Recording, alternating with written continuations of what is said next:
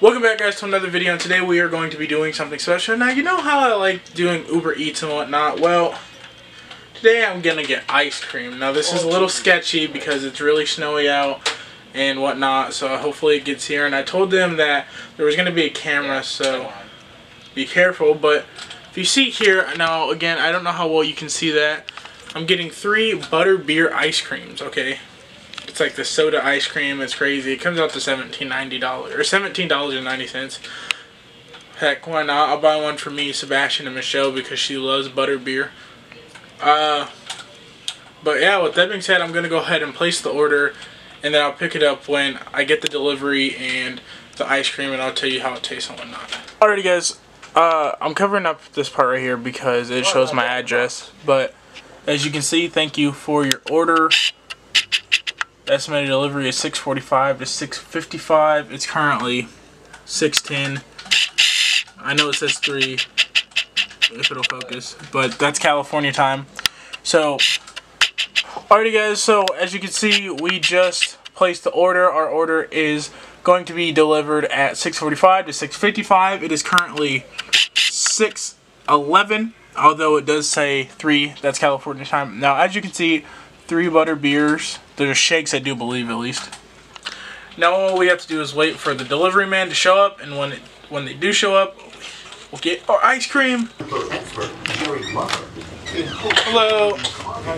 How you doing?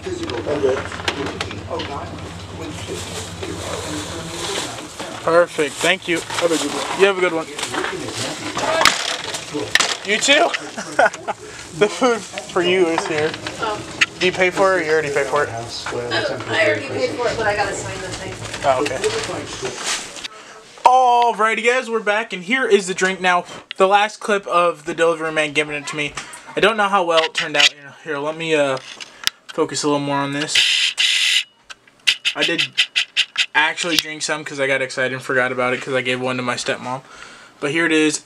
It look it it looked fantastic. And also, funny story, I don't know if you guys saw it in the last clip, when the delivery man gave me this, our Chinese food man also showed up and gave us, let's see if I can open this here, give us our Chinese food. So, ta-da! Look at that. Mm.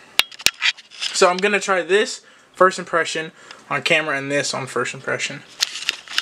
And if you want to know where the drink is from, although it's indie based, so I don't know if it has any places else, or where the Chinese food is from, uh, which again is indie based. Well, everything will be in the description. So, the butter beer. See, it's weird because it's like this soda ice cream thing, like it wants to be coffee. It's weird, man, but it tastes good. It's got this, this like, this tangy taste at the beginning, but it's just so sweet.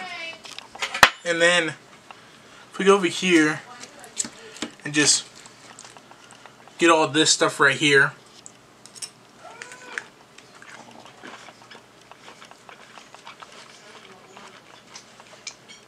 Up. That's good, bro. Mm. Hands down good. The drink is overall pretty good. I was going to get the ice cream, but this is like an ice cream soda mix. It's good. If you're a Harry Potter fan, you'll love it. And if they have one on your or in your area, go ahead and try it. I, I use uh, Grubhub. So, all the links will be in the description. I will refer you guys to it so you can get $7 off and so I can get $7 off on my next purchase. So if you want to do that, again, all links will be in the description. With that being said, I love you guys so much. Thank you for continuing to support my channel. I'm going to enjoy my food and my drink. With that being said, wait, Sebastian. Hmm. I bought Sebastian one because it's his birthday. What do you think of the drink? It's delicious. Yeah? Mhm. Do you know what I'm talking about when I say it's like a, a, Yeah, I a know tangy hit at the very beginning? It's like, ooh, Uh-huh. like that. Yeah, okay. I love you guys. Peace out. You